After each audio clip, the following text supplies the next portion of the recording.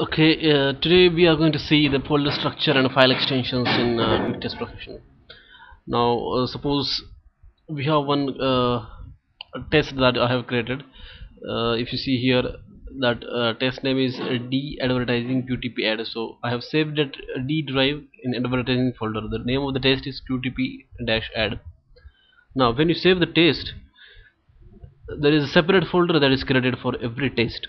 Mm, every for every test that we save there are a lot of folders and files that are automatically created. Now I will show you what kind of files are created when you save the test in QTP if you go to QTP interview questions.blogspot.in this is the blog that I write for uh, QTP articles. You can refer this you can later on visit this uh, blog as well. So there is one post I have uh, uh given there this is regarding folder structure and file extension in QTP now when we save any QTP uh, test in QTP uh, below folders are created. Say action 0 then action 1 and action 2 if there are two actions in the test.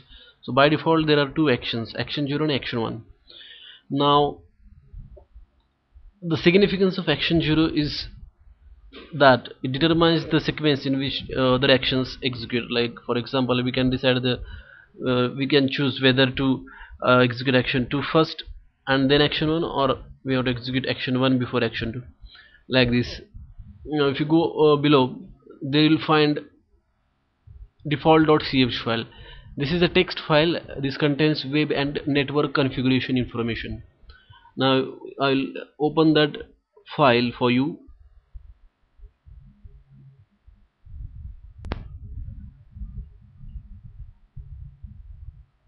default.cfg okay?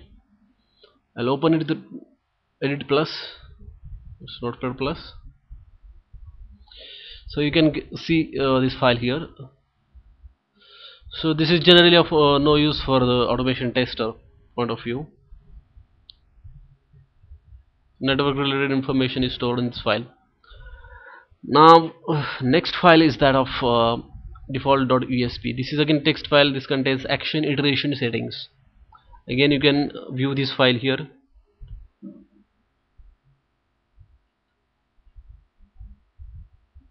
See here run logic initialization route run logic action type then mercury initialization number of iterations all these settings are uh, in this file.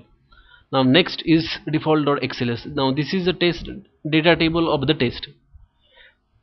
Every test has a data table in which there are multiple sheets. There is one global sheet and there is one local sheet for every action. So this is about default.xls you can see this file here this one.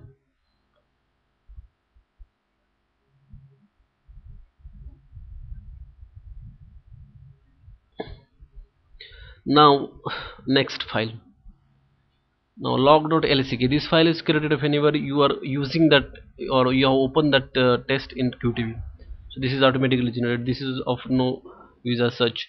Then parameters.mtr this is a binary file which stores the input output parameters of the test.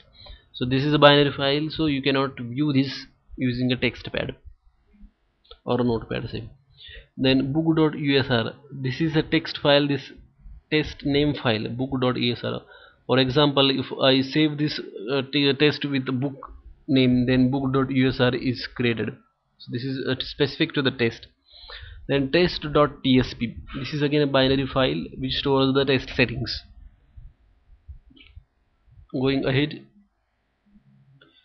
Now as I said there are for each action there is separate folder is created in Qtp there is snapshots folder. Uh, this is used to store the uh, screenshots of the application whenever error occurs if you enable that. Now under each action there will be below files. Object repository repository.bdb this is a local object repository. I will show you that file.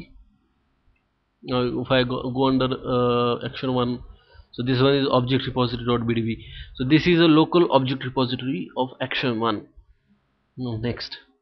Resource.mtr this is this file contains the uh, resource information that the test is using. For example shared object repository or which kind of share object repository this qtp test is using.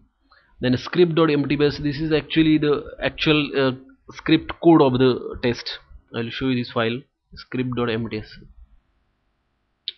so this one is the file script.mts so this actually contains all the actual code that you have written in that test now next file is analogtracklist.dat so this is used uh, to just store the other information that is not relevant here from QTP automation tester perspective. Now other files and their extensions in QTP there are different uh, other files that I will uh, tell you. Not .vbs this is a vbs library file. Here you can store different functions inside this file and then again attach this to the uh, any number of tests then .txt. This is again text library file. Here again you can store library file uh, functions. Okay qfl is again quick test function library file. Now it is up to your choice which extension you want to use. If you use vbs then you get extra advantages. You can check the syntax by double clicking on the file. Or you can include that file using execute file statement. With txt and qfl extension you cannot do that. Next uh, important uh, file extension in qtp is qrs qrs is nothing but quick test recovery scenario file. This is used to store the scenarios associated with the recovery scenarios associated with the test. And finally and a very important .tsr that is shared object repository file. When you export the local objects you get uh, you create a .tsr file and you can attach this tsr file to any test so that all the objects inside this tsr file can be used by that test where we have attached to that. So this is all about what kind of uh, folders and uh, actions and extensions uh, the QTP uh, uses. Thank you